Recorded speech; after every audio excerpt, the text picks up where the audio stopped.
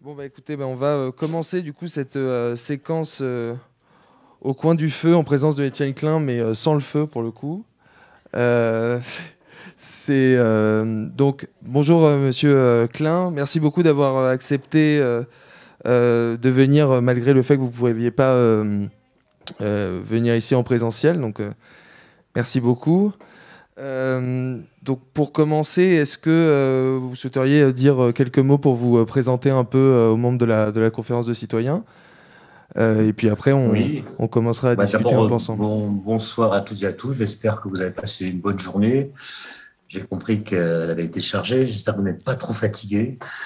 Moi, je vais intervenir en tant que, d'abord comme citoyen et ensuite comme, comme directeur de recherche au CEA. Disons que depuis pas mal d'années, j'essaie de faire euh, ce qu'on appelle de la vulgarisation, vulgarisation de la physique, et je me suis rendu compte euh, au fil des années que c'est une tâche euh, beaucoup plus difficile que ce que j'avais imaginé, notamment parce que dans la transmission des connaissances interviennent toutes sortes de facteurs, par exemple ce qu'on appelle des biais cognitifs, dont j'ai essayé de comprendre la nature et qui me valent peut-être en partie d'être euh, avec vous ce soir. Merci euh, beaucoup. Et donc, euh, vous avez écrit assez récemment un ouvrage qui s'appelle Le goût du vrai, où justement vous interrogez le rapport entre science et vérité, la différence entre ce qui relève de l'opinion et du fait scientifique. Et donc, ça m'amène à vous, poser cette première question. Qu'est-ce, qui vous a donné envie d'écrire sur le goût du vrai? Et, euh, euh, sur le, le- rapport entre vérité et science Mais j'avais pas du tout envie hein, d'écrire. J'ai jamais eu envie d'écrire sur le goût du vrai. Il y a simplement un moment où, disons, j'étais un peu énervé. Et donc, plus que l'envie, c'est l'agacement qui m'a conduit à écrire ce petit, essai.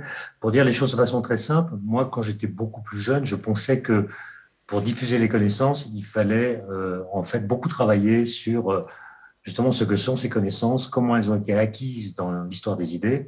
Par exemple, mon, premier grand sujet, ça a été ce qu'on appelle la physique quantique, qui est la physique qui permet de décrire le, comportement de la matière à toute petite échelle. Et donc, j'ai étudié les équations, j'ai étu- étudié l'histoire, j'ai étudié euh, la biographie des pères fondateurs de la physique quantique, qui étaient des jeunes physiciens qui travaillaient ensemble au début des années 1920. J'ai essayé de comprendre les implications de cette physique, etc.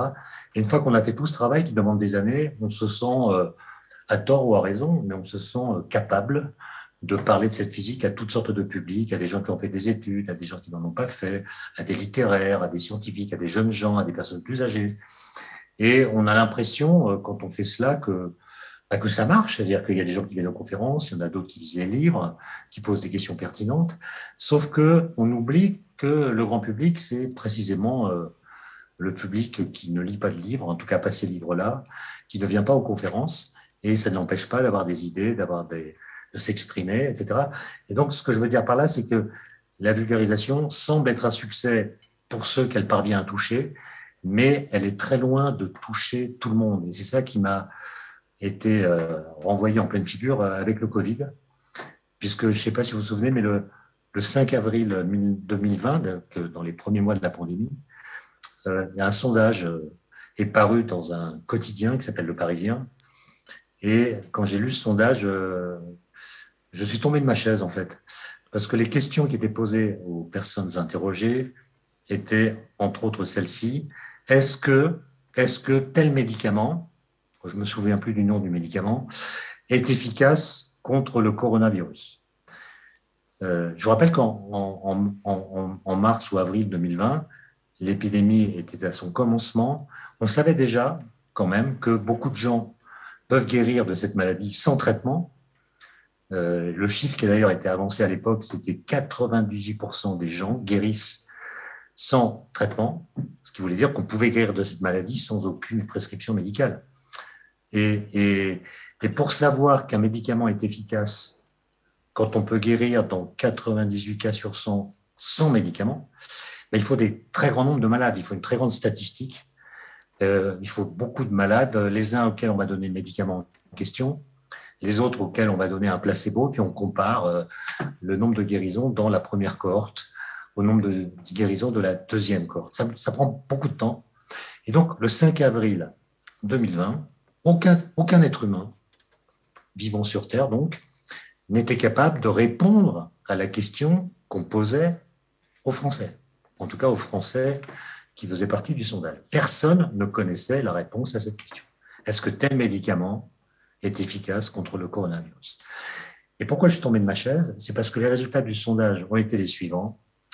59%, 59 des personnes interrogées ont répondu oui, c'est efficace.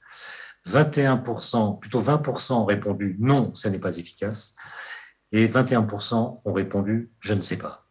Ce qui veut dire que à une question à laquelle tout le monde aurait dû dire je ne sais pas, seuls 21% des gens ont dit je ne sais pas. Les autres connaissaient la réponse que personne ne connaissait, ne connaissait pas. Donc je me suis demandé mais d'où vient notre promptitude à nous déclarer experts y compris à propos de questions dont les réponses sont encore inconnues.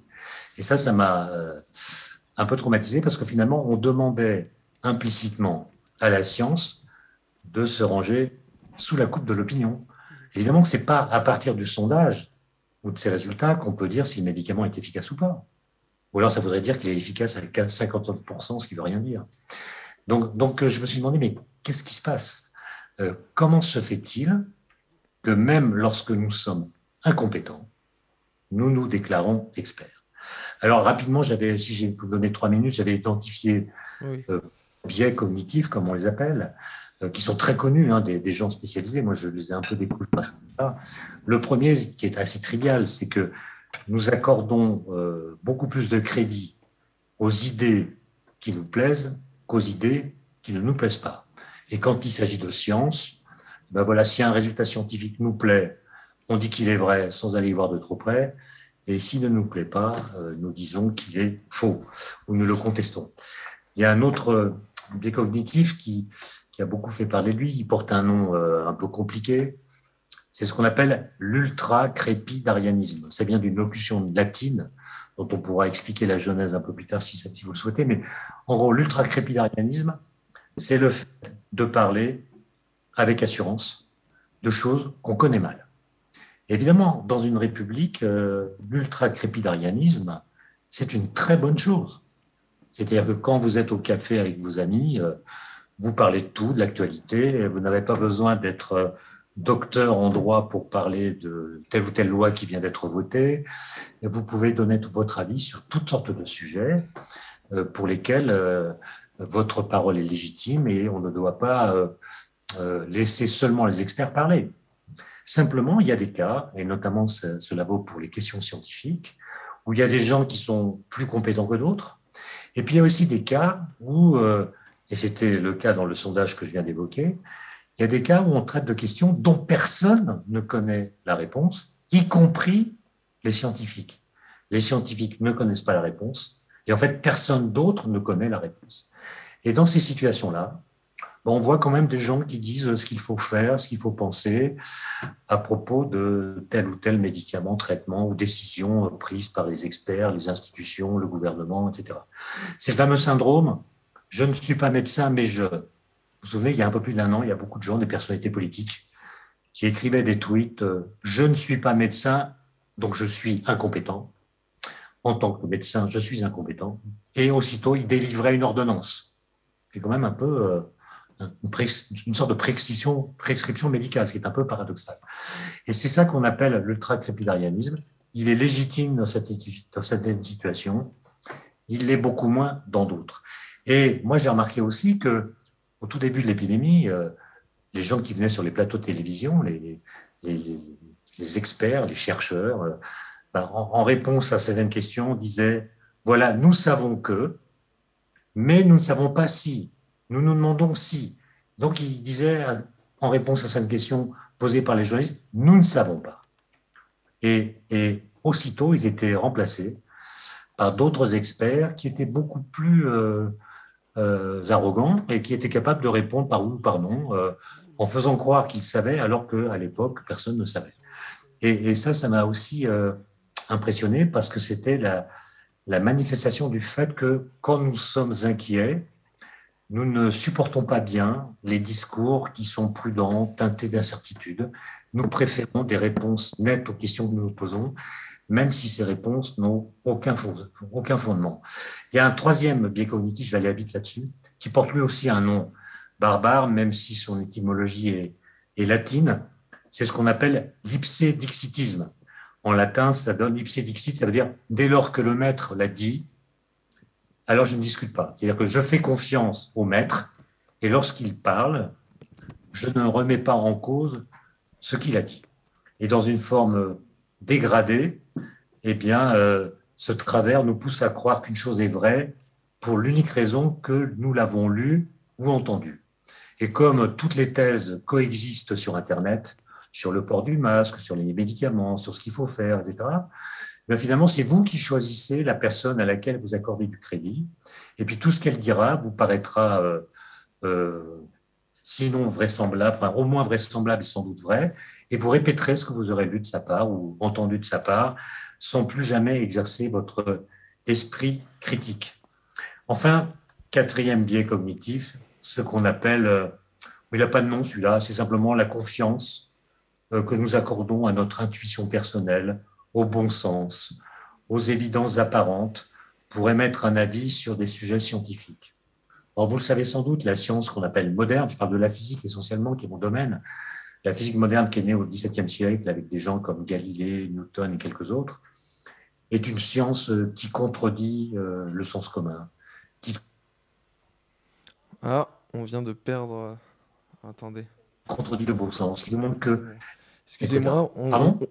Oui, oui, on, vous a perdu euh, un tout petit peu, mais là c'est revenu, ah. pardon. Oui, et puis après j'aurais une autre question. je, suis dans, je, suis dans, une chambre d'hôtel et on m'a dit que ma connexion Internet était instable. Et là, vous m'entendez? Non, c'est bon, c'est bon. Oui, oui, on vous entend. Donc s'il y, y, a un problème, il risque d'y avoir des problèmes, vous, vous, me le direz. Puis Pas de souci. Oui, oui. Je vais vous donner un, un, exemple qui montre que, que ce qu'on apprend par la physique ne relève pas du tout de l'observation euh, immédiate, en tout cas et que ça oblige à réinterpréter ce que nous observons en utilisant des lois qui ne sont pas elles-mêmes directement observables. Par exemple, votre corps, je ne sais pas si vous le savez, il est radioactif. Hein. Votre corps, il émet des, des particules qui sont issues de la radioactivité qui concerne certains des atomes qui sont dans votre corps. Et la moitié de votre radioactivité, elle vient d'atomes de potassium, de potassium 40, qui sont dans votre squelette. Dans votre squelette, il y a du potassium euh, non radioactif, celui qui, est stable. Donc, euh, les atomes en question sont, euh, rien ne peut les, transformer de façon spontanée, en tout cas. Et puis, il y a une toute petite proportion d'entre eux, qui sont donc les atomes de potassium 40, qui sont radioactifs. Alors, qu'est-ce que ça veut dire radioactif Ça veut dire que c'est des atomes exactement euh, comme les autres. Ils sont, ils sont, ils n'émettent pas de rayonnement la plupart du temps sauf à un moment donné de leur histoire, ils sont condamnés à se désintégrer pour donner un autre noyau ou un autre atome en émettant différentes sortes de particules. En l'occurrence, les particules qu'ils émettent, euh, ces noyaux de potassium 40, c'est ce qu'on appelle des neutrinos. Donc un atome radioactif, contrairement à ce que beaucoup de gens croient, dans mon entourage en tout cas, c'est pas un atome qui est constamment en train d'émettre des particules de rayonnement. C'est pas un atome qui est constamment radioactif. Non, c'est un atome comme tous les autres, sauf que à la différence des autres, il y a un moment qu'on peut d'ailleurs pas prédire de façon absolue, parce que c'est un, événement qui est en fait euh, piloté par le hasard, il va se désintégrer, devenir un autre et ça lui arrive évidemment qu'une seule fois dans sa vie, si j'ose dire. Eh bien, euh, votre corps, euh, il abrite ces atomes dans votre squelette, et 4000 fois par seconde, ces atomes se désintègrent dans votre corps et émettent des neutrinos qui traversent votre, votre chair et se propagent ensuite dans l'espace euh, sans guère interagir avec euh, quoi que ce soit. Et, eh bien, euh, ces, neutrinos, vous les voyez pas. on est sûr de leur existence. On a pu mesurer le flux avec lequel ils sortent de votre, de votre squelette. Et, et, et ben pour obtenir cette information scientifique, vous imaginez qu'il a fallu passer par toutes sortes de médiations, de stratagèmes pour arriver à identifier la réalité physique de ce phénomène. Mm. Enfin, si je peux ajouter euh, un cinquième biais cognitif. Peut-être euh, juste euh, comme ça pour, pour compléter votre réponse, et puis après, on, on essaiera aussi d'écouter de, d'écouter les questions que les citoyens auront pour vous.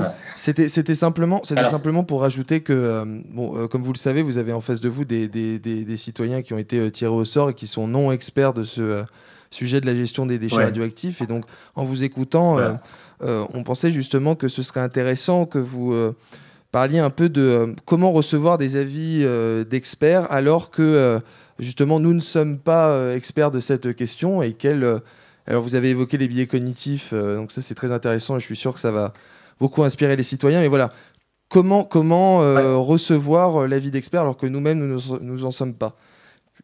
Voilà. Ah ben, c'est une très bonne question. J'aimerais bien avoir la, bonne, la réponse complète. Que faire?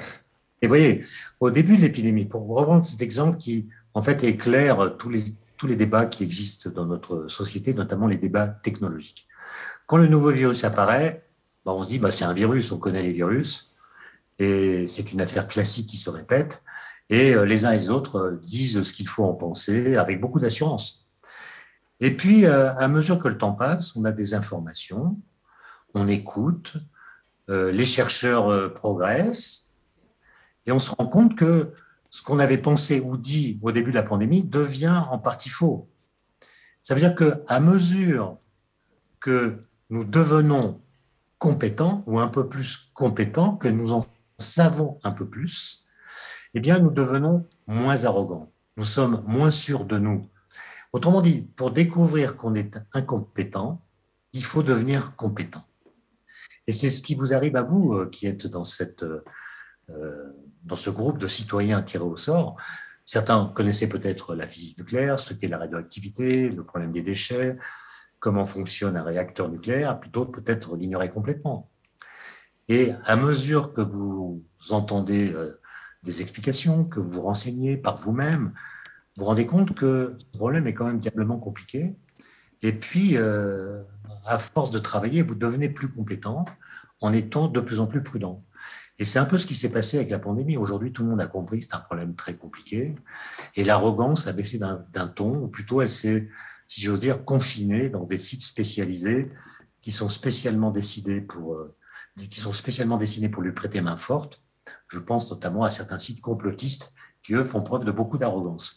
Mais, mais donc, pour répondre à la question, moi, j'ai l'impression, pour avoir assisté à des débats sur euh, la 5G, sur les vaccins, sur euh, les déchets nucléaires, que, que finalement, il y a une forme de décorrélation entre la militance et la compétence.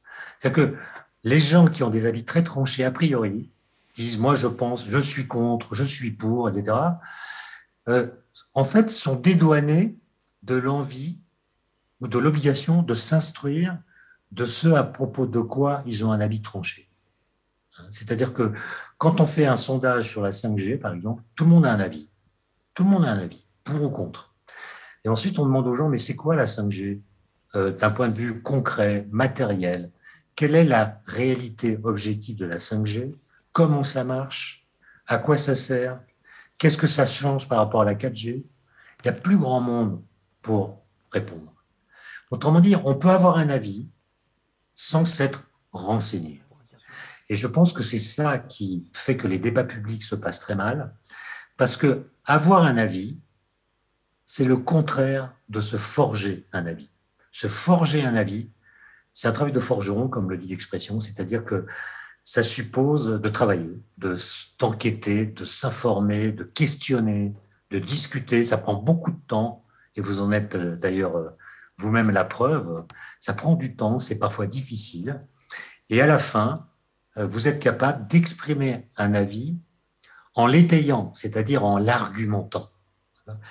Et, je pense que le débat le débat, pour les raisons que vous avez dit, toutes les thèses coexistent, on entend tout dire et son contraire, et c'est très difficile pour un, citoyen de naviguer dans cette confusion générale, mais on peut s'aider en regardant comme ça en passant l'étymologie du verbe débattre.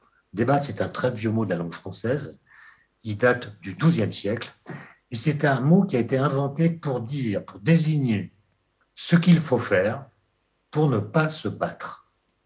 Débattre, c'est le contraire de combattre. Débattre, ça veut dire je pratique une certaine politesse de l'esprit, je laisse l'autre discuter, je le laisse argumenter, Je refuse les arguments d'autorité, je refuse de les utiliser moi-même, et je conteste celui qui les utilise de son côté sans argumenter. Je, je, laisse du temps à tout ça. Et à la fin, si le débat s'est bien passé, nous sommes capables de dire ce sur quoi nous sommes d'accord et ce sur quoi nous sommes en désaccord. Et il suffit de dire tout ça pour comprendre qu'un débat, ça prend beaucoup de temps. Et ça peut être ennuyeux, ça peut être ennuyeux. Alors que le débat au sens télévisuel du terme, c'est tout à fait autre chose.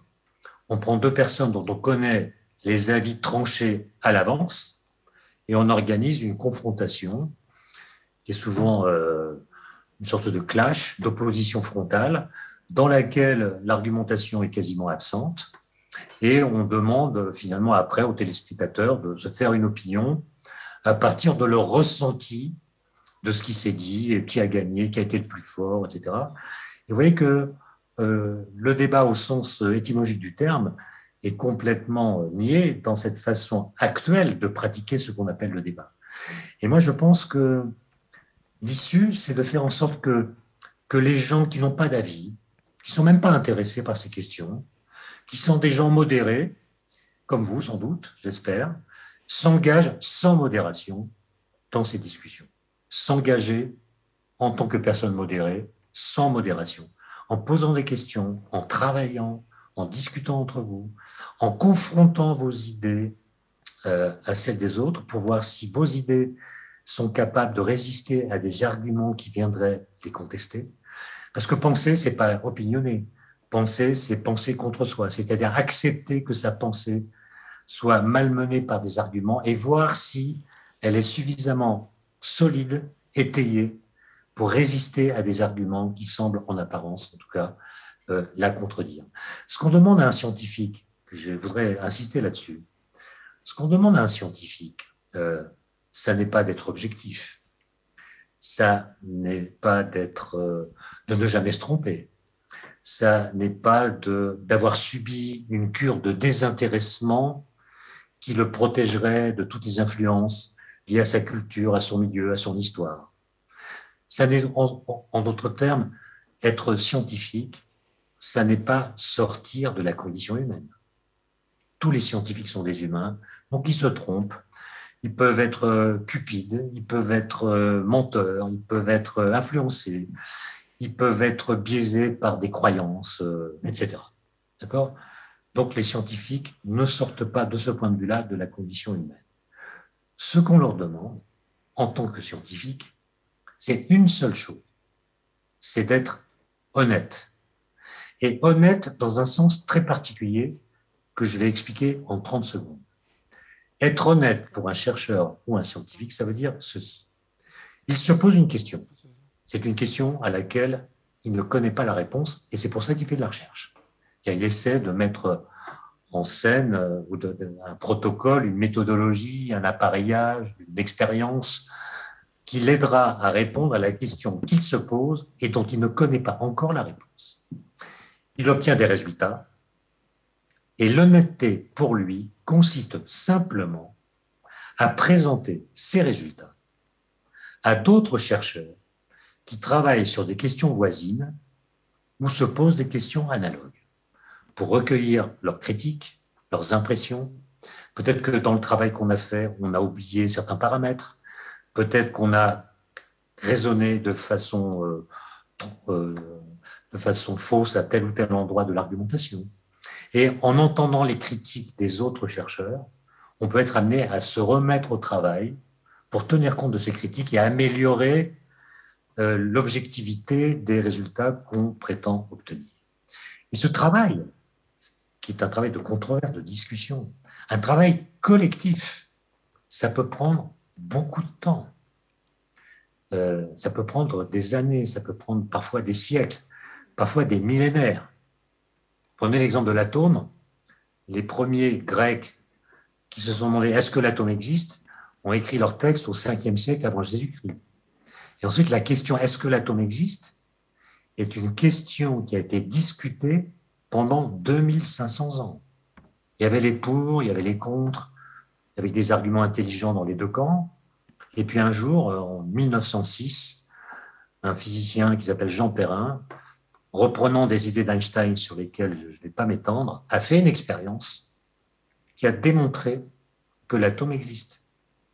Et à ce moment-là, les physiciens qui ne croyaient pas à l'atome ont accepté l'idée que l'atome existe, etc. Et on s'est rendu compte que l'atome qui existe n'est pas comme l'atome qu'avaient pensé les Grecs, etc. C'est une très longue histoire.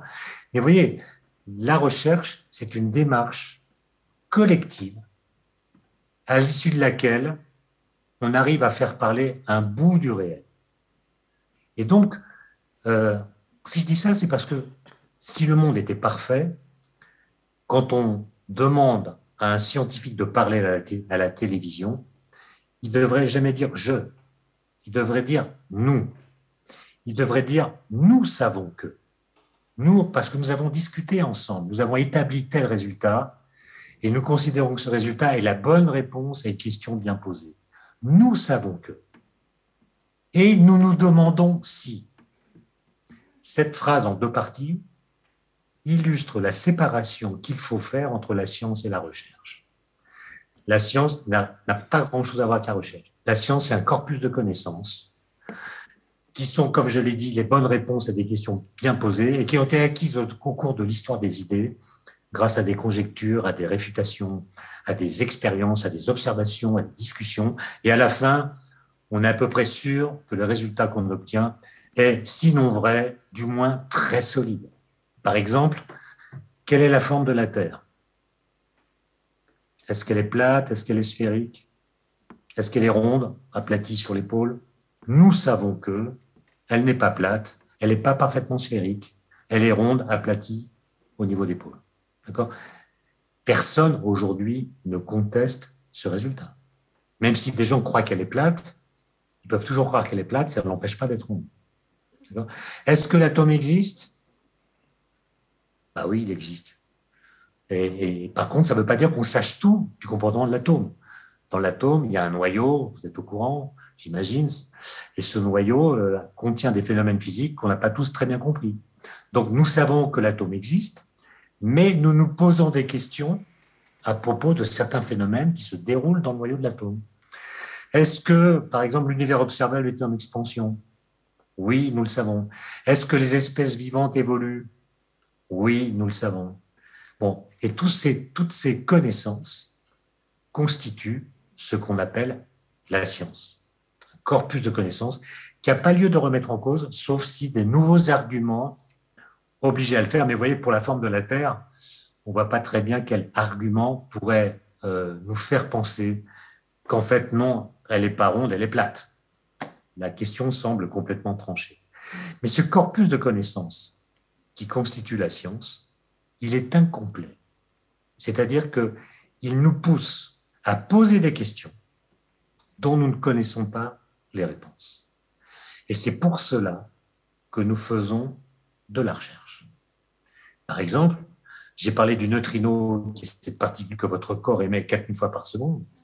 Ben, les physiciens ne savent pas si le neutrino, cette particule qui sort de votre corps, est identique ou non à ce qu'on appelle son antiparticule. Peu importe ce que ça veut dire, c'est une question dont nous ne connaissons pas la réponse. Et c'est pourquoi nous faisons des recherches. Nous avons construit des grands détecteurs un peu partout dans le monde pour tenter de trouver la bonne réponse à cette question. Est-ce qu'il existe des extraterrestres? Est-ce qu'il existe de la vie en dehors de la Terre? On n'en sait rien personne n'en sait rien. Et c'est pourquoi nous faisons des recherches. Donc vous voyez que la recherche, elle a à voir avec le doute. On pourrait dire que le doute, c'est le moteur de la recherche. C'est parce que nous doutons que nous faisons des recherches. Et, le doute, on pourrait dire que c'est donc le moteur de la recherche, mais c'est aussi son combustible. C'est-à-dire qu'à mesure que la recherche progresse, le doute se déplace il y a des réponses dont, il y a des questions dont on ne connaissait pas les réponses. On obtient une réponse. Cette réponse va poser de nouvelles questions. Donc, donc le doute va se déplacer ailleurs, etc. C'est un processus sans fin. Et donc, vous voyez que quand on confond la science et la recherche, comme on l'a fait pendant la pandémie, Alors, l'idée de doute, qui est inhérente à la recherche, vient coloniser l'idée même de science. Et on en arrive à dire la science, c'est le doute, qui est à mon avis la phrase la plus ravageuse qu'on puisse dire. Parce que si la science, c'est le doute, alors, et si en plus je vois des experts euh, plus ou moins autoproclamés qui se disputent sur les plateaux de télévision, qui ne sont pas d'accord entre eux, ben moi, citoyen, je vais, j'ai le droit d'utiliser mon bon sens, mon ressenti, mes connaissances, mes croyances. Je peux citer les personnes en qui j'ai confiance, tel ou tel professeur qui dit des choses qui me plaisent. Et à partir de tout cela, je vais prétendre pouvoir trancher des questions qui font l'objet de controverses scientifiques. Et, à mon avis, c'est cela qui est dangereux. Parce que la science n'a pas à se ranger sous la coupe de l'opinion. C'est pas par un vote, par un référendum ou par un sondage qu'on détermine la forme de la Terre. C'est pas par un vote qu'on décide si tel ou tel médicament est efficace contre un virus dont on ne connaît pas exactement la façon de se comporter. Ça n'est pas par un vote qu'on décide ou non que l'activité humaine a une influence sur l'évolution du climat. Ça demande autre chose. Et c'est ça qui est intéressant. Et, donc, euh, si vous voulez, il y a un, philosophe anglais qui est un, un philosophe des, des Lumières qui s'appelait David Hume, qui avait écrit ça de façon très explicite. Il disait euh, la souveraineté du peuple, elle est totale en démocratie, sauf qu'elle est limitée par le. Ah. Oh. Est-ce que quelqu'un peut compléter Même si le peuple décide le soleil qui tourne autour. Oui, oui, oui. Excusez-nous, on vous a perdu. Ah, Est-ce que là, vous... je suis revenu. Oui, c'est bon. Je suis revenu. coup- Oui, mais on. Ouais. euh, Voilà, je sais pas quand vous m'avez perdu, mais j'étais en train de dire que ce que dit Hume, c'est que si le peuple décidait que la Terre est au centre de l'univers et que le Soleil tourne autour de la Terre, ça n'empêcherait pas le Soleil ou la Terre de tourner autour du Soleil. C'est-à-dire que quoi qu'on en pense, ça ne change pas la euh, vérité euh, de l'énoncé qui consiste à dire que c'est la Terre qui tourne autour du Soleil. Alors on pourrait dire que la science est dictatoriale, qu'elle nous impose des, des résultats qu'on n'a pas le droit de discuter. Moi, je dirais que c'est plutôt l'inverse. Vous savez bien que ni Copernic, ni Einstein, ni Newton, ni Darwin n'étaient des dictateurs. Et d'ailleurs, si le pouvoir nous ment à propos des vérités scientifiques, alors nous sommes capables, nous en tant que citoyens, de le contester au motif que ce qu'il dit n'est pas la vérité. Et donc, la vérité scientifique, ça nous donne du pouvoir. Là où Hume peut-être s'est un peu trompé, c'est que les vérités scientifiques euh, ne sont pas des vérités absolues. Je vais vous donner, euh, je ne sais pas combien de temps j'ai, mais je vais essayer d'être rapide. Je vais vous donner euh, euh, trois exemples. en fait, il y a des vérités scientifiques d'un moment, d'un moment, ça veut dire que tous les scientifiques sont d'accord pour dire c'est vrai. Et puis on découvre un jour qu'ils sont trompés. Par exemple, au 19e siècle, je caricature, mais en gros, c'est ça, tous les physiciens pensaient que dans l'espace, partout dans l'espace, existait un certain milieu qu'on appelait l'éther, qui était chargé de transporter la lumière quand elle se propage. Autrement dit, ils pensaient qu'il y avait ce milieu qui vibrait au passage de la lumière, qui portait la lumière. Voilà. Et puis un jour, euh, un, un, jeune physicien qui s'appelait euh, Albert Einstein a démontré que cet éther n'existe pas. Et comme il n'existe pas, ça l'a obligé à changer les relations entre l'espace et le temps. Ça a donné la théorie de la relativité restreinte. Bon. Ça veut dire qu'une vérité scientifique d'une époque est devenue complètement fausse. Ensuite, vous avez des vérités scientifiques dont on voit mal comment elles pourraient devenir fausses. J'ai donné l'exemple de la forme de la Terre. On ne voit pas très bien comment dans l'avenir on pourrait être amené à dire, contrairement à ce qu'on dit aujourd'hui, que la Terre est plate, sauf si la Terre devenait plate. Mais si elle reste ronde comme aujourd'hui, on continuera à dire qu'elle est ronde. Donc il y a des vérités scientifiques dont on voit très mal comment elles pourraient être contestées dans l'avenir. Et puis, il y a d'autres vérités scientifiques plus intéressante à mon avis, qui demeure vraie, même si notre façon de les dire doit être remaniée à cause du progrès des connaissances. Je vais vous donner un exemple. Vous êtes d'accord avec moi pour dire que, d'ailleurs je l'ai répété à l'instant, que la Terre tourne autour du Soleil. Et quand vous dites cette phrase de façon implicite, vous laissez entendre que le Soleil est un référentiel particulier. Le Soleil est au centre, voilà, et la Terre tourne autour du Soleil. Et, en fait, euh, Albert Einstein, dont j'ai cité le nom à l'instant, il a produit en 1915 une nouvelle théorie de la gravitation qu'on utilise aujourd'hui pour faire de la cosmologie. C'est la bonne théorie de la gravitation, c'est du moins ce que pensent les physiciens, qui s'appelle la théorie de la relativité générale. Et cette théorie dit en gros que tous les référentiels sont équivalents. Il n'y a aucun référentiel dont on puisse dire qu'il a, qu'il a un statut spécial par rapport aux autres. Or, quand vous dites la Terre tourne autour du Soleil, vous parlez comme si le Soleil était un référentiel différent des autres. Et donc, c'est vrai que la Terre tourne autour du Soleil, mais il faudrait dire cette chose autrement pour tenir compte du fait que nous ne comprenons pas aujourd'hui la gravitation comme la, comprenait Newton. Et ça réclamerait donc une sorte de réadaptation euh, de notre façon de dire les vérités scientifiques. Voilà. Donc, euh, je vais peut-être m'arrêter là et, entendre vos questions, mais le point capital pour moi, c'est de marquer cette distinction qu'il faut faire entre la science qui est bien établie et sans arguments très solides que parfois on a du mal à imaginer, on ne peut guère la contester.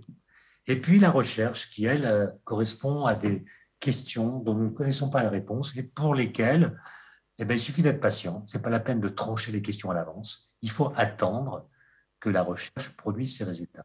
Et d'ailleurs, c'est un peu ce qui s'est passé avec le Covid. Hein. Je pense que à peu près tout le monde aujourd'hui a compris que c'est la recherche qui aura le dernier mot. C'est-à-dire que tous les sujets qui ont fait l'objet de controverses très intenses sur les médicaments, sur les masques, sur euh, les mesures à prendre pour garantir la distanciation sociale, euh, etc., ben, on voit bien qu'à la fin, euh, c'est les chercheurs qui nous diront les bonnes réponses à ces questions qui étaient l'objet de controverses. Autrement dit, les controverses venaient simplement du fait que ces questions étaient posées, plutôt tranchées, de façon prématurée.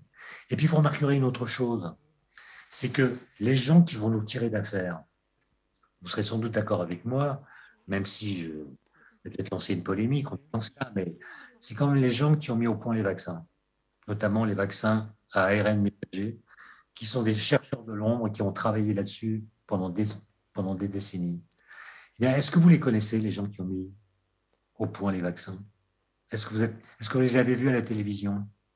Est-ce que vous connaissez leur nom? Non. Non. On ne les a jamais vus.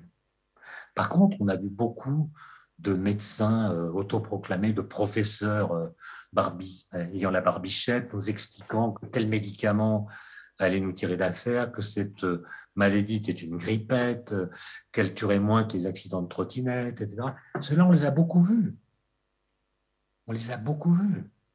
Or, à ce jour, il n'y a pas de traitement contre le Covid. Il n'y a que la vaccination qui peut nous sortir de l'affaire. Et donc, je me demande, c'est un peu une question que je vous pose, c'est est-ce qu'il n'y a pas une décorrélation, ou plutôt, est-ce qu'il n'y a pas une corrélation entre la discrétion et la compétence? Est-ce que ceux qu'on entend le plus parler sont les gens les plus compétents? Voilà ce que je voulais vous dire en guise d'introduction pour lancer le débat. Merci beaucoup. Bah, du coup, vous avez inversé le, principe. C'est vous qui avez posé une question aux, citoyens, mais c'est, c'est une bonne question. Et euh, donc, je ne sais pas s'il y en a qui veulent euh, répondre à cette question ou poser euh, sa propre question. N'hésitez pas, c'est le moment ou commenter, ou pas forcément poser une question, d'ailleurs, juste euh, rentrer en discussion avec, euh, avec Monsieur Klein. Si quelqu'un souhaite se lancer. Et après, ça va tout seul. On qu'à passer à la deuxième question directement.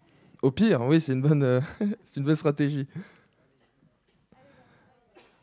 Bernard. Et après Sylvie, d'accord. Alors ma question c'est est-ce que le doute ne peut pas entraîner une certitude? Je m'explique. Je ne connais pas grand-chose à la 5G. De ce que j'entends, c'est nocif. Donc, est-ce que je ne veux pas me positionner contre pour qu'il n'y ait pas d'antenne dans mon, le clocher de mon village, qui est au-dessus de ma maison? Donc, mhm. d'un doute, j'affirme une certitude, il ne faut pas d'antenne dans le clocher du village. Ouais. Euh, moi, ce que j'ai lu, c'est qu'on n'a pas, pas vu d'effet de la 5G. En tout cas, les études n'ont pas montré d'effet direct sur la santé. Mais en science, il y a un principe très simple euh, qui est que l'absence de preuve n'est pas la preuve de l'absence. Et donc, vous pouvez toujours dire, on n'a pas vu d'effet de la 5G sur la santé. Pas parce qu'on n'en a pas identifié, qu'on n'en a pas observé, qu'on n'en a pas vu, qu'il n'y en a pas. Donc, vous avez le droit de douter. Mais à un moment, il faut tenir compte, des connaissances. Alors, euh, vous voyez que ça, c'est une question extrêmement euh, délicate que vous posez. Parce que, euh, je vais m'écarter de votre question pour parler, pendant une minute d'un phénomène qui, se montre désormais de façon très massive, qui est qu'on appelle le complotisme. Bon, moi, j'ai discuté avec des complotistes, peu nombreux, qui sont des amis euh, scientifiques, scientifiques, qui sont devenus complotistes pendant la, crise du Covid. Et en fait, euh, eux, ils, inversent la charge de la preuve. Par exemple, euh, vous leur dites, mais comment tu peux me prouver qu'il y a eu un complot? Que c'est Bill Gates qui a fabriqué le virus pour vendre des vaccins qui allaient permettre de mettre des puces dans le corps des gens, etc. Comment tu peux le prouver? Évidemment, il ne peut pas le prouver le prouver. Mais il va vous dire, c'est à toi, c'est à toi de me prouver qu'il n'y a pas eu de complot. Et moi, je ne peux pas le prouver non plus. D'accord? Et donc, il vient instiller un doute dont on ne sait pas trop bien que faire, un peu comme ça transparaît dans la question que vous avez posée. Maintenant, je vais, c'est moi qui vais vous poser une question. Je vais vous dire ceci. Je vous rencontre dans un café, on discute, et je vous dis, à moi, je suis sûr, je suis sûr qu'il y a une théière qui se balade dans l'espace, dans les confins du système solaire, au-delà de la planète euh, Uranus. C'est une, théière anglaise qui se balade dans l'espace. Ben, qu'est-ce que vous allez me dire?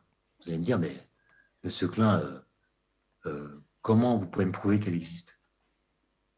Et moi, je vous dirais, ben, vous, prouvez-moi qu'elle n'existe pas. Voilà. C'est ça la, rhétorique de l'affaire.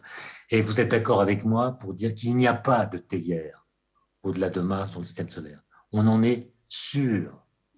Mais on ne peut pas le prouver. Voilà, il y a des vérités qu'on ne peut pas prouver. Ce qui ne les empêche pas d'être vraies. D'accord? Et donc, si, vous demandez à toute forme de vérité d'être prouvée par l'observation, par euh, la détection, euh, etc., même avec un télescope ultra puissant, vous ne pourrez jamais voir un objet de la taille d'une théière dans les confins du système solaire. L'objet est trop petit, il est invisible, pour des raisons physiques que je pourrais expliquer si ça vous intéresse. D'accord? Et donc, vous pouvez décider de mettre du doute partout. Vous avez le droit. D'accord? Mais dans ce cas-là, vous devez être cohérent. C'est-à-dire que le doute que vous mettez en avant, que vous mettez en avant, pardon, ne doit pas être sectoriel. Il doit être généralisé. Vous devez douter de tout. En moi, ce que j'observe, hein, c'est que les gens qui doutent, euh, qui sont ce qu'on appelle des sceptiques, qui peuvent être par exemple des climato-sceptiques, des gens qui contestent l'idée que l'activité humaine puisse avoir une incidence sur le climat, ben, moi, je remarque que ces gens ne doutent que de ce que disent les climatologues. Ils ne doutent pas de ce que disent les physiciens ou les chimistes. C'est uniquement les climatologues. Et donc, c'est très bizarre d'avoir un scepticisme qui soit à ce point euh, sectoriel. Pourquoi douter d'une partie de la science et pas de la science tout entière? Et à ce moment-là, ils devraient plutôt euh, douter de toute la science. Et puis, vous voyez, il y a aussi des, des cas où le doute est en fait, passez-moi l'expression, ridicule. Je vais vous donner un exemple. Il y a quelques, il y a deux ans, il y a eu un débat euh, qui rejoint la question de ce soir, organisé à la Sorbonne, est retransmis sur France Culture en direct. Donc, quand vous savez que vous êtes retransmis sur France Culture en direct, vous faites attention à ce que vous dites. Et la question, c'était est-ce que la, quel est le rapport entre la science et la vérité? Est-ce que la science, est-ce que la science dit le vrai? Au passage, excusez-moi, je fais une petite parenthèse, mais euh, vous avez remarqué que pendant le Covid, on a beaucoup entendu les scientifiques, mais est-ce qu'on a beaucoup entendu la science? C'est-à-dire, est-ce qu'on a passé beaucoup de temps à la télévision à faire de la pédagogie? Est-ce que vous avez entendu au journal de 20 heures des gens vous expliquer ce qu'est un essai en double aveugle, ce qu'est un essai randomisé, ce qu'on appelle un effet placebo? Est-ce qu'on vous a expliqué pourquoi il ne faut pas confondre corrélation et causalité? Ça n'est pas parce qu'il y a des grenouilles après la pluie qu'on a le droit de dire qu'il a plus des grenouilles. Est-ce qu'on vous a expliqué les pourcentages? Par exemple, quand on vous dit le vaccin, il est efficace avec 95%, qu'est-ce que ça veut dire 95% On nous l'a jamais expliqué. Et, et, on parle beaucoup d'exponentiel. Le nombre de cas positifs euh, pourrait devenir exponentiel, entend-on dire ici ou là. C'est quoi une exponentielle? Pourquoi, pourquoi on n'a jamais eu d'explication sur ce qu'on appelle une exponentielle, alors que le mot exponentiel est devenu un mot du langage courant qu'utilisent les journalistes, les hommes politiques, etc. Pourquoi on ne prend pas cinq minutes à expliquer ce qu'est une exponentielle Vous allez me dire, mais parce que c'est compliqué. Non, c'est pas compliqué. Au mois de juillet, j'étais en Allemagne et j'ai assisté à la télévision à une conférence de presse de Madame Merkel qui a expliqué aux Allemands pendant cinq minutes ce qu'est une exponentielle. Elle a pris le temps et elle a expliqué avec les mains, sans tableau, sans équation, sans graphe. Elle a expliqué avec les mains ce qu'est une exponentielle. Et ça, c'est fondamental quand vous voulez expliquer ensuite d'où viennent les mesures que vous proposez ou que vous imposez à la population. Je ferme la parenthèse. Pourquoi on préfère la controverse à la pédagogie? C'est ça que la question pour laquelle je n'ai pas de réponse et que j'aimerais on discute ensemble. Maintenant, je reviens à mon histoire. Il y avait ce débat à la Sorbonne, science et vérité. J'étais l'un des invités et à côté de moi, il y avait une dame, professeure émérite, euh, qui était ce qu'on appelle une relativiste, c'est-à-dire une personne qui pense qu'il n'y a pas de vérité scientifique, que tout est relatif, etc. Et elle a pris la parole en disant, ben, finalement, les scientifiques sont des gens qui remettent en cause le lundi matin ce qu'ils croyaient vrai le vendredi soir précédent. Et elle explique aussi que la science, ça n'est que des, ce ne sont que, des constructions sociales. C'est les scientifiques qui fabriquent des récits qui ne sont pas plus vrais que les autres et qu'ils imposent par des arguments d'autorité. Alors moi, je lui ai dit, ben non, quand même, euh, c'est pas vrai que les scientifiques euh, remettent en cause euh, le lundi matin ce qu'ils pensaient vendredi soir. Moi, j'ai jamais rencontré de physiciens qui remettent en cause l'existence de l'atome. J'ai jamais rencontré de physicien qui doute du fait que la Terre est ronde, etc. etc. Et donc, euh, les physiciens, il y a des tas de choses à propos desquelles ils n'ont aucun doute. Mais ils se posent des questions. Et puis, je lui ai dit aussi, euh, en physique, il n'y a pas eu de révolution depuis presque un siècle. Hein. Les théories qu'on utilise en physique aujourd'hui, la relativité générale d'Einstein dont je l'ai parlé, elle a plus d'un siècle. La mécanique quantique qui décrit le monde des particules élémentaires, elle a plus d'un siècle. Depuis, on a fait des millions de découvertes, mais aucune de ces découvertes n'a remis en cause les principes fondamentaux qui sont à la base des deux théories que je viens de citer. Donc, les scientifiques ne sont pas des gens qui font la révolution tous les quatre matins. Et d'ailleurs, ça leur manque la révolution. En physique, on aimerait bien une révolution. Parce qu'on se pose des questions et on pense qu'une révolution permettrait de dégager le paysage. Mais il n'y a pas de révolution. Et, et cette dame, alors que j'avais donné l'exemple de la Terre ronde comme étant l'exemple d'une vérité qu'on ne voit pas très bien comment on pourrait la contester, cette dame a dit, en direct à la radio, cette phrase étonnante euh, qui procède, à mon avis, d'un doute ridicule. Elle a dit, nous ne sommes pas à l'abri d'un nouvel Einstein qui ne démontrera que la Terre est plate. Autrement dit, si aujourd'hui on dit que la Terre est ronde, c'est parce qu'on n'est pas assez intelligent pour avoir compris qu'elle est plate. Vous voyez, vous avez le droit de douter de cette façon, de douter de tout. Vous pouvez même douter de mon existence ce soir, euh, penser que je suis une hallucination, que je n'existe pas. Vous pouvez douter de votre propre existence. Vous pouvez, par exemple, imaginer que tout ce que vous voyez est une production de votre conscience, euh, etc. Euh, vous pouvez douter de la présence, de, de l'existence même de votre voisin ou de votre voisine. Peut-être que vous êtes victime d'une hallucination. Peut-être que vous êtes en train de rêver. D'accord? Vous avez le droit de douter de tout. Autrement dit, la position un peu ridicule de cette personne, elle est légitime, à condition qu'elle fasse jurisprudence. C'est-à-dire que le doute qu'elle évoque, elle l'applique à tout, y compris à ce qu'elle dit. D'accord? Et, euh, euh, la grande question, c'est quand vous doutez de tout, de cette façon, quand vous pratiquez une espèce de scepticisme radicalisé, quel est, qu'est-ce que vous allez raconter aux étudiants? Qu'est-ce que cette personne peut enseigner si tout ce qui est su peut être soumis à un doute aussi fort La réponse, c'est rien. Donc, la contradiction que je vois dans ce genre de propos, c'est qu'est-ce qu'on peut enseigner si on croit qu'aucune connaissance n'est solide? Et ça, ça me. Vous savez, quand, on entend aussi parfois des gens dire euh, tout est relatif. Alors, tout est relatif. Et, parfois, on dit que c'est Einstein qui l'a dit. C'est complètement faux. Einstein n'a jamais dit tout est relatif. Et, voyez bien que la phrase tout est relatif est une phrase qui se contredit elle-même. Parce que si tout est relatif, alors il est relatif que tout soit relatif. De même, quand vous dites euh, euh la vérité n'existe pas, ben, si la vérité n'existe pas, la phrase qui dit que la vérité n'existe pas n'est pas vraie. D'accord? Vous voyez, c'est cet usage du doute, euh, euh, sachant que le doute, il y a plusieurs sortes de doutes euh, qui sont très différents les uns des autres. Il y a le doute méthodique, il y a le doute systématique, etc. On peut avoir des, des débats philosophiques extrêmement compliqués sur ce qu'on appelle le vrai.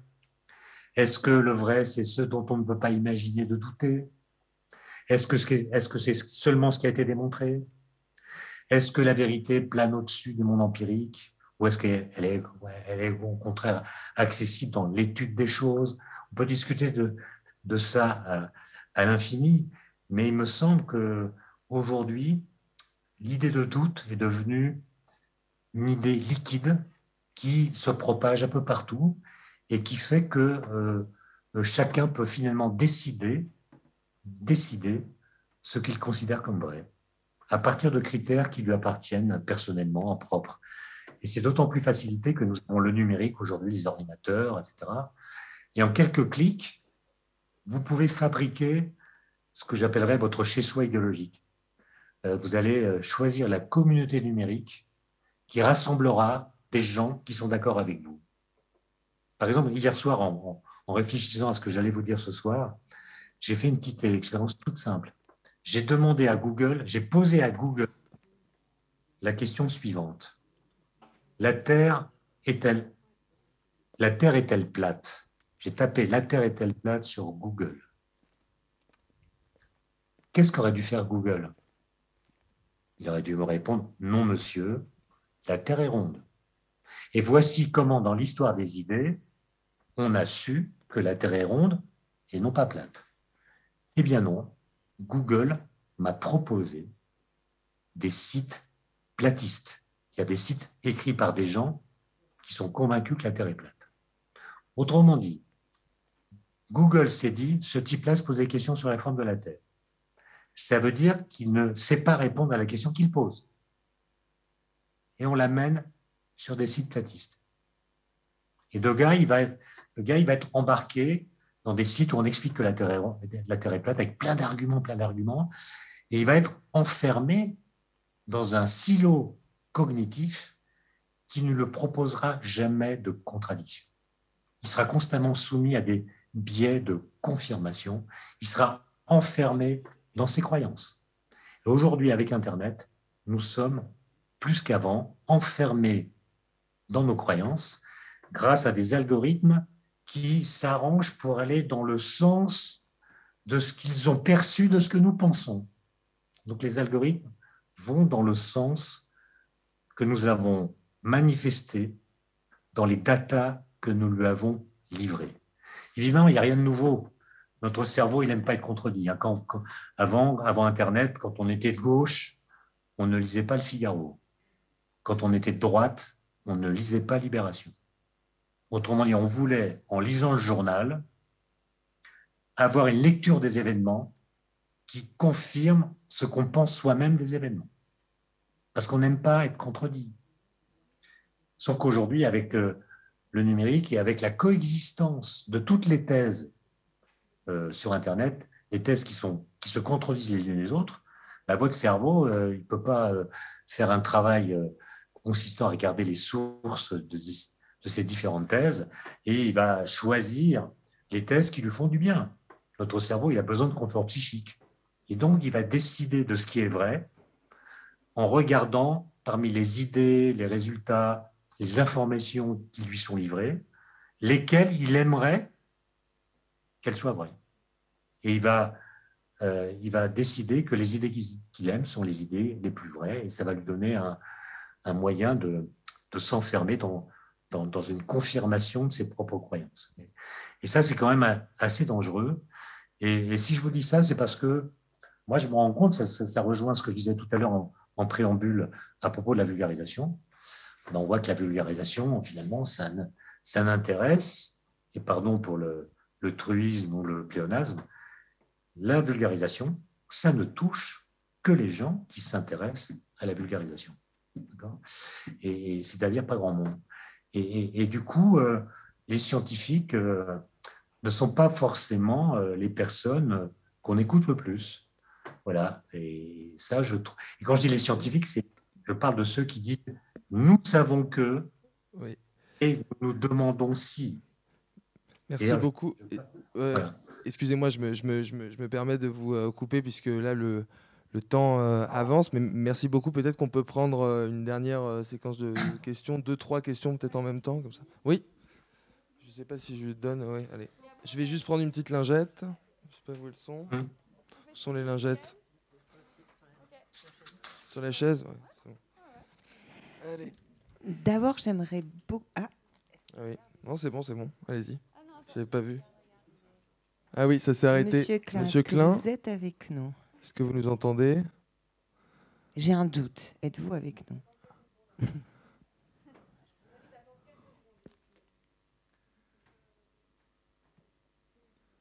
Oui, c'est un gros doute là. C'est bon. Est-ce que vous êtes de nouveau avec nous? Est-ce que vous nous entendez?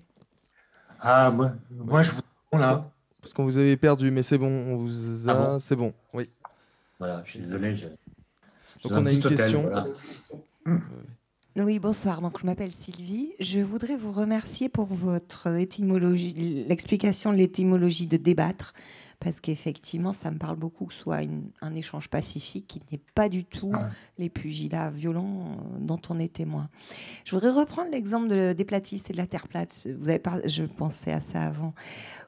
Quelle serait, à votre avis, une, attitude dans un débat au sens du terme, vraiment en échange, face justement à, des, des, gens, on peut reprendre cet exemple, qui malgré tout, ce qu'on sait, les photos de l'espace, etc., euh, sont omnubilés par, euh, par exemple, cette croyance de la Terre plate. Ça s'applique à d'autres domaines, mais peut-être on peut garder ça comme exemple. Hmm. Nous allons prendre juste euh, une ou deux questions comme ça, parce qu'il nous reste à peu près une vingtaine de minutes. Écoutez, je vais, je vais vous répondre par une anecdote. Oui, juste, juste euh, excusez-moi, Monsieur Klein. Ce qu'on va faire, c'est qu'on va prendre plusieurs questions. Ah, nous, de toute façon, on les note. Comme il nous reste à peu près 20 euh, minutes, comme ça, ça vous permettra de, répondre et de, à l'ensemble des questions. Oui. Oui, hmm. bonsoir. Euh, moi, j'avais une question toute simple. C'est justement, vous parlez des scientifiques. moi, je me pose la question. C'est des gens qui ont fait quand même beaucoup d'études, qui se sont posé beaucoup de questions, qui ont trouvé des réponses, etc., et qui se basent sur des, justement euh, des recherches. Comment se fait-il qu'on ait des scientifiques euh, complotistes? Mhm. Dernière euh, question, si on a, si on a une. Non, c'est votre dernier mot. oui. Euh, merci. je ne sais pas si c'est vraiment une question. Je m'appelle aussi Sylvie.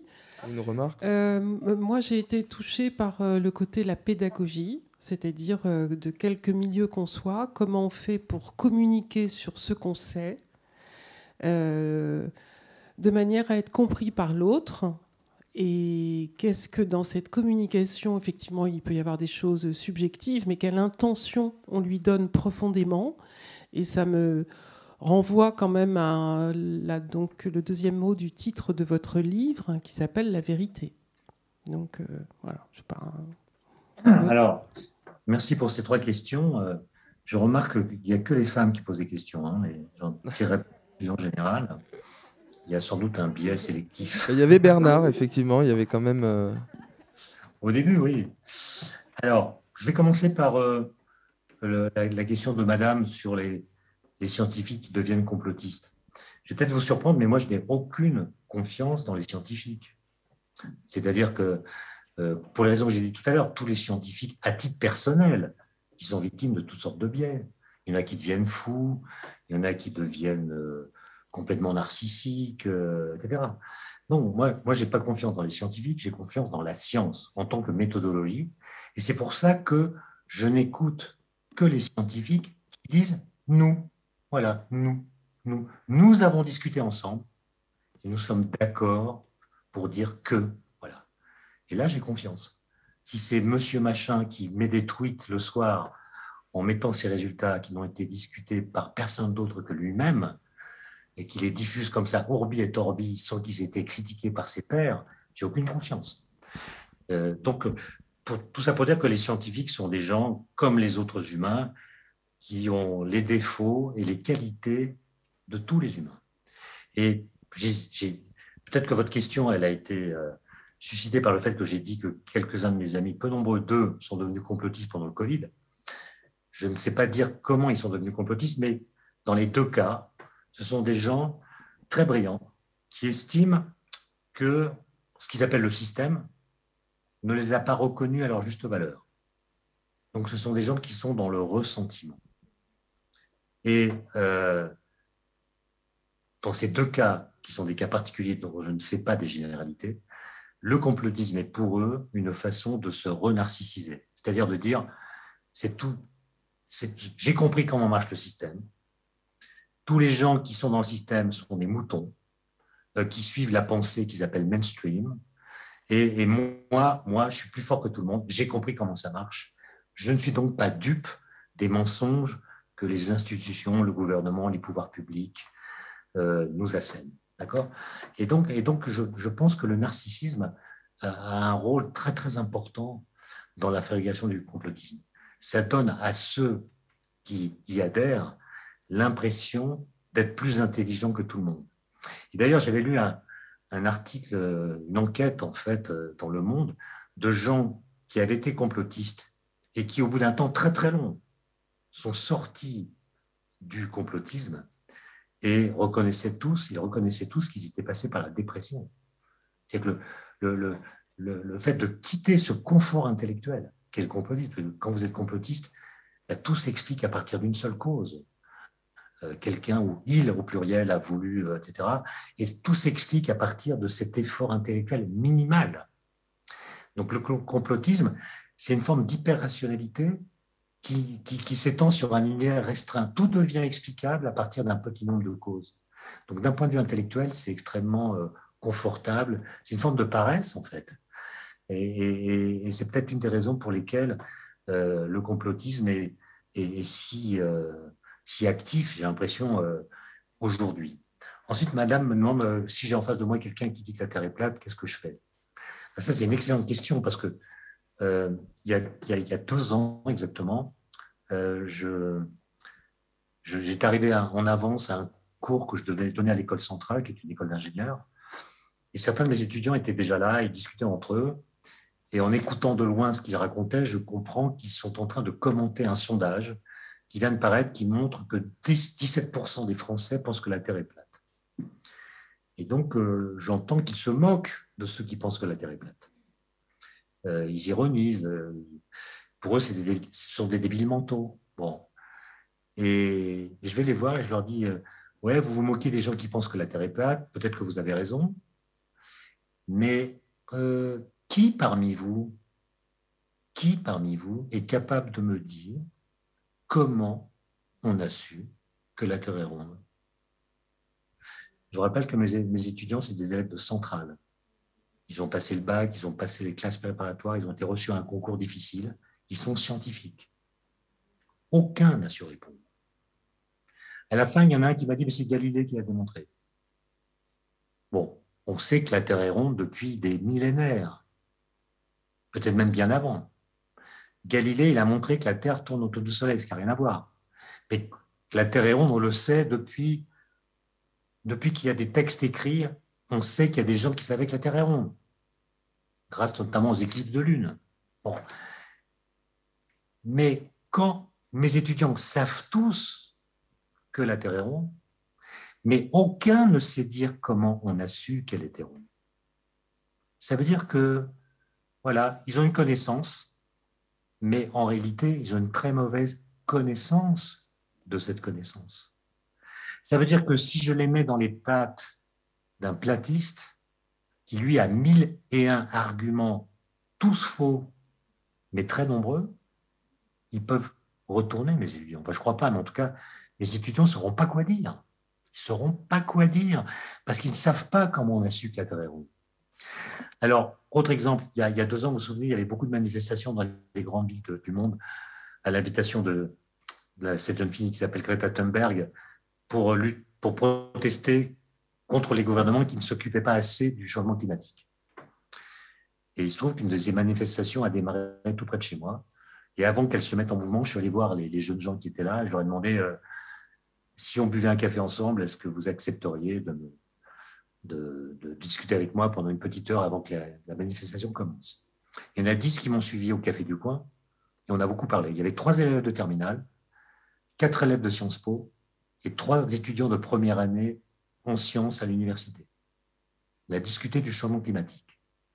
J'ai été étonné de leur maturité, de leur euh, finesse d'analyse politique. Ils étaient parfaitement conscients des enjeux de cette affaire. Ils se sentaient concernés. Ils avaient des messages très élaborés et une réflexion beaucoup plus mûre que celle que ma génération pouvait avoir à leur âge. Donc j'étais impressionné. Mais à la fin, je leur ai demandé euh, au fait, les amis, c'est quoi l'effet de serre? L'effet de serre qui est responsable du fait que l'atmosphère capture une partie de, de, la chaleur, de l'énergie des, des rayonnements infrarouges. C'est quoi l'effet de serre? Aucun n'a su répondre. Aucun. C'est pas grave, ils sont jeunes, ils ont temps d'apprendre. Mais voyez qu'il y a un moment où la militance, la militance, doit s'accompagner d'un accroissement de connaissances. Parce que si ces jeunes gens, je les mets dans les pattes d'un climato-sceptique bien rodé, un peu sophiste, ils vont être retournés comme des crêpes. Et d'ailleurs, j'aurais opposé des arguments. J'ai fait semblant d'être climato-sceptique. Je leur ai dit, mais quand même, on, on rajoute un peu de CO2 dans l'atmosphère, mais il y a du CO2 dans l'atmosphère de façon naturelle. Il y a les éruptions volcaniques qui émettent du gaz carbonique. Il y a d'autres phénomènes naturels qui émettent du gaz carbonique dans l'atmosphère. Nous, on en rajoute un peu.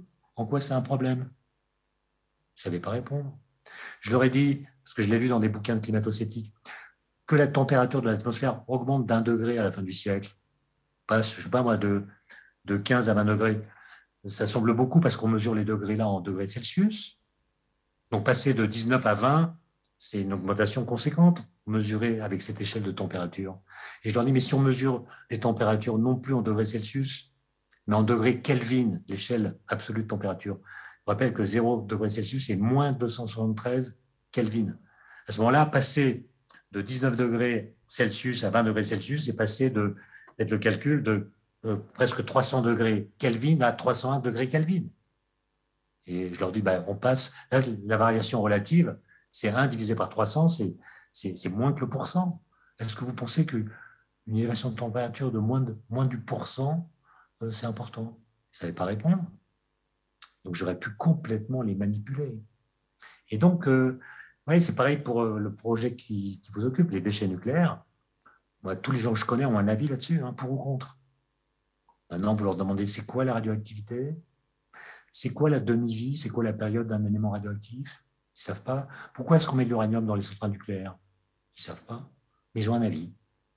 Voilà, ils ont un avis. Et le fait d'avoir un avis leur suffit.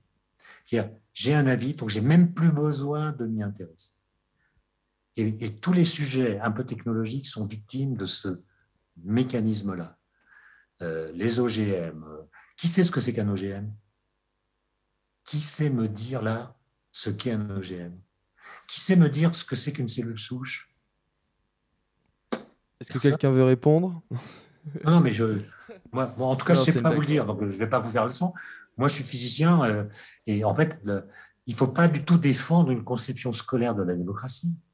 On ne demande pas à un citoyen de connaître la virologie, la physique nucléaire, la climatologie, euh, la génétique. Euh, non, c'est impossible. Personne n'a les capacités intellectuelles de connaître toutes les sciences.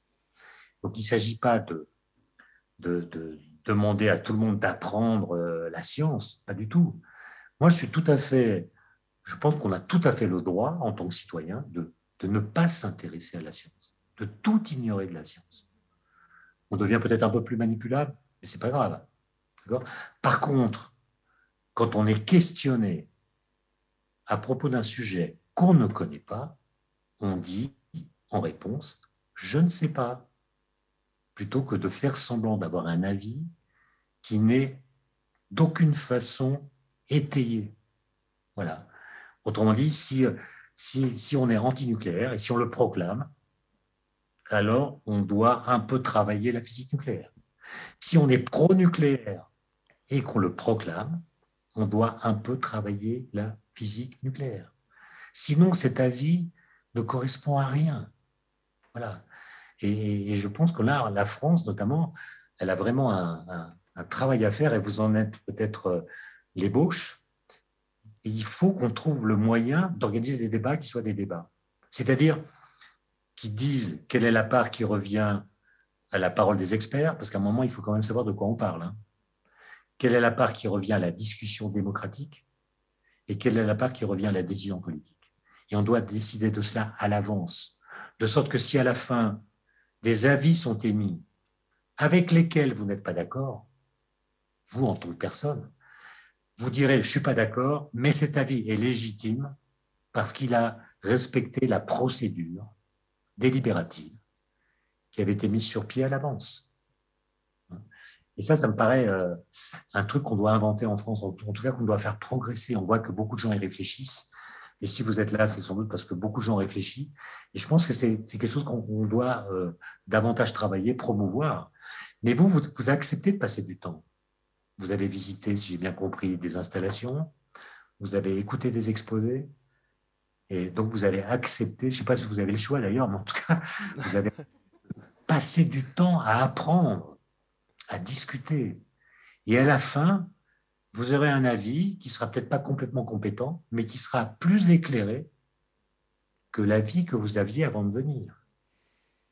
Et c'est ça qu'il faut comprendre. C'est ça l'effet de Dunning-Kruger que j'évoquais tout à l'heure. Ce soir, vous vous rendez compte que ce matin, vous étiez moins compétent que ce soir. Et que peut-être que dans quelques jours, vous serez encore plus compétent. Merci beaucoup pour ces mots qui résonnent un peu comme une conclusion. Excusez-moi de voilà. Couper, mais euh, merci beaucoup. Est-ce qu'il y a une toute, toute dernière question Sinon. Euh, ah oui, c'est vrai, c'est vrai. Sur, la, sur, le, sur, le, sur le goût de la vérité. Euh, oh, bah là, autant je suis optimiste sur les questions présentes, autant, autant sur le goût de la vérité. Moi, je pense que le, le goût de la vérité, c'est une expression que j'ai empruntée à Nietzsche, le philosophe qui disait dans un livre qui s'appelle Humain trop humain, en parlant de la science, il, dit, il disait Le goût du vrai va disparaître à mesure que la vérité garantira moins de plaisir. Et je pense qu'une république, une démocratie, c'est un lieu où on est d'accord sur ce qui est vrai, mais c'est un lieu dans lequel l'idée de vérité a de la valeur, même si on n'est pas d'accord sur ce qu'est la vérité. Et moi, j'ai l'impression que que la société, à cause du numérique que j'évoquais tout à l'heure, se structure en petites sociétés qui ne communiquent pas entre elles et qui se réunissent par le fait qu'elles rassemble des gens qui sont d'accord entre eux et n'ont plus besoin de discuter. Voilà. Et ça, ça me paraît être une menace pour la démocratie. Mm. Et donc, euh, nous devons veiller à ce que, euh, dans la suite de l'histoire, euh, la vérité conserve une valeur, même si nous trouvons qu'elle a mauvais goût. Je veux dire par là que on voit bien, nous sommes capables de développer toutes sortes de stratagèmes intellectuels pour ne pas croire ce que nous savons. Par exemple, nous savons que l'activité humaine change le climat, mais nous disons ah, mais c'est pas sûr, la science est le doute, euh, les, climatologues n'ont pas absolument tout démontré, il y a encore des questions qui se posent, et puis l'hypothèse de base ou le résultat auquel ils sont arrivés n'est pas complètement sûr. Bref, on développe toutes sortes de stratagèmes intellectuels pour que les décisions que nous devrions prendre en connaissance de cause soient retardées un maximum parce qu'elles impliquent des modifications de nos modes de vie qui nous dérangent.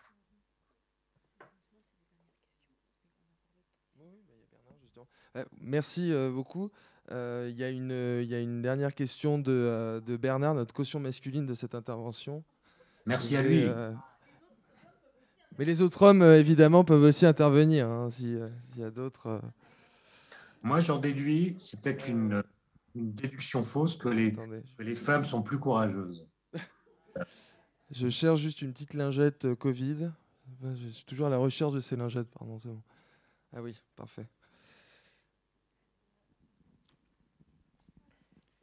Vous dites que pour avoir euh, un avis, entre autres, sur le nucléaire, qu'il soit pour ou contre, il faut s'intéresser à la physique nucléaire. Mais est-ce qu'un euh, médecin peut avoir un avis sur le nucléaire, pour ou contre toujours, en ne s'intéressant qu'à l'aspect médical du nucléaire? Idem pour un économiste qui pourrait s'intéresser qu'au domaine économique de cette filière et donner un avis pour ou contre. De toute façon, euh, je vais vous dire, euh, la physique nucléaire ne vous dit pas si vous devez faire du nucléaire la physique nucléaire, elle vous dit comment faire une centrale nucléaire. Comment ça se construit, euh, etc. Elle ne vous dit pas que vous devez le faire. Quand la science était en dans des progrès, les gens disaient ben, la, science nous donne des possibilités et on doit euh, les, actualiser, les rendre euh, concrètes, et on verra bien si ça nous plaît ou pas. Aujourd'hui, l'idée de progrès, comme vous le savez bien, est, problématisée, elle est fragilisée, et, on, on, comprend que la science produit des connaissances, mais elle produit aussi de l'incertitude. Mais l'incertitude dont il est question là est une incertitude d'un type très spécial. C'est que la science ne nous dit pas ce que nous devons faire avec les possibilités que la science nous donne. Est-ce qu'on doit faire des OGM La science nous dit comment le faire, elle ne nous dit pas si nous devons le faire. Pareil pour tous les sujets qui vous viennent en tête. Et donc, nous devons décider ensemble, comme vous tenter de le faire ce soir, du type de compagnonnage que nous souhaitons faire dans le futur avec les possibilités que nous donne la science. Et puisque vous posez la question sur le nucléaire, euh, pour moi, la question n'est pas du tout d'être pour ou contre. Être pour le nucléaire, qu'est-ce que ça veut dire? La question qui se pose, c'est que devons-nous faire? Que devons-nous faire? Parce que quand vous dites je suis anti-nucléaire. En quoi ça aide à résoudre le problème des déchets nucléaires? Si vous dites je suis pour le nucléaire, en quoi ça aide les gens à résoudre le problème des déchets nucléaires? Les déchets nucléaires sont... Que devons-nous faire des déchets nucléaires? Est-ce qu'on doit continuer à construire des centrales? Est-ce que le fait de construire des centrales d'une nouvelle génération va aider à régler le problème des déchets nucléaires? Est-ce que ça va l'aggraver? Voilà des questions intéressantes. Mais quand vous dites je suis contre ou je suis pour, euh, so what, so what? En, quoi c'est une information pertinente? En quoi ça aide à résoudre le problème? Nullement. Et, d'ailleurs, le fait de dire que vous êtes pour ou contre, comme je l'ai dit tout à l'heure, vous, vous, vous dédouane du problème. Vous dites, j'ai un avis sur la question, donc c'est plus un problème pour moi. Je m'en occupe plus, je passe à autre chose. Et ça, c'est vraiment, euh, c'est vraiment une plaie. C'est vraiment, excusez-moi du terme, hein, c'est une plaie dans les débats publics. Moi, j'ai assisté le 17 avril 2019 au premier débat public à Caen sur les déchets nucléaires. Il y avait 20 experts.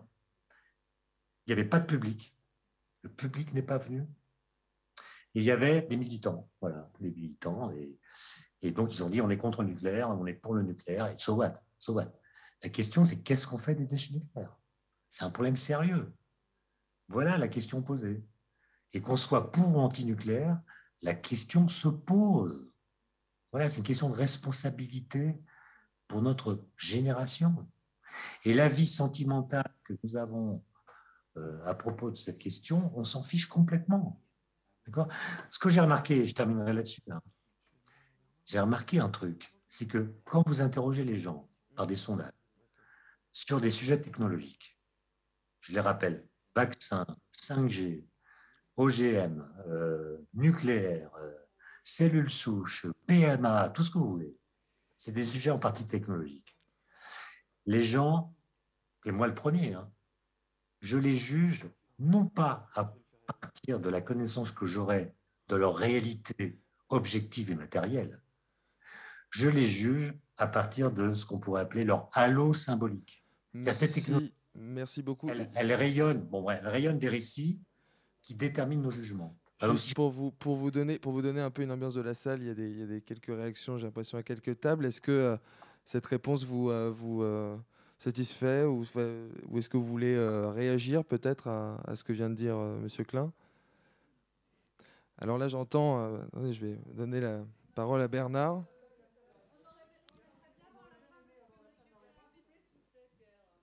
Pardon, excusez-moi. Désolé, désolé, désolé. Bah oui, bah, pardon, Monsieur Klein, bah continuez. On me... Non, je, je, scientifique, oui. Vous savez, il y, a, le maire d'une grande ville, euh, par ailleurs très sympathique, qui dit avec la 5G, on va pouvoir euh, regarder des films pornographiques dans les cabines d'ascenseur. Et puis un autre euh, spécialiste a dit, mais avec la 5G, on va pouvoir opérer des malades, faire des opérations chirurgicales à distance. Donc le premier a créé un certain halo symbolique, le second a créé un autre halo symbolique. Et, donc, euh, euh, le jugement que nous faisons sur la 5G dépend de la mise en concurrence de ces différents récits symboliques. Et on choisit celui, avec lequel on a le plus de sympathie, ça va déterminer notre jugement. Pareil, quand on, prononce le mot nucléaire, il y en a qui vont l'associer au halo symbolique d'Hiroshima, de Nagasaki, les accidents nucléaires. D'autres vont associer le nucléaire à un coût du kilowattheure électrique plus bas que celui des autres énergies, etc. Chacun va choisir son petit halo et ça lui suffira pour dire qu'il est pour ou contre. C'est tout, sans aller y voir beaucoup plus loin. Et c'est ça qui, à mon avis, empêche que les débats soient des débats de qualité qui méritent le nom de débat au sens étymologique du terme. Merci. Merci beaucoup. Voilà, on se dit au revoir, c'est ça? Les applaudissements, c'est ça, c'était. Euh, Merci. Euh, bah, écoutez, je vais retrouver mes collègues du jury. Je suis en fait, je suis à Chamonix, au Festival du film de Montagne, et je suis dans le jury. Donc, je vais devoir rejoindre mes collègues. Mais j'étais ravi de passer cette soirée euh, avec vous. Merci beaucoup, c'était un plaisir partagé. Mais vous n'avez pas entendu les applaudissements, vous voulez qu'on en refasse plus fort? Non, bah, vous avez enregistré vos moments. Merci, merci, j'espère que vous entendez. J'entends mieux là. Enfin, je vois des mains qui s'agitent. C'est pareil. Merci encore et très bonne soirée. Merci, bonne soirée.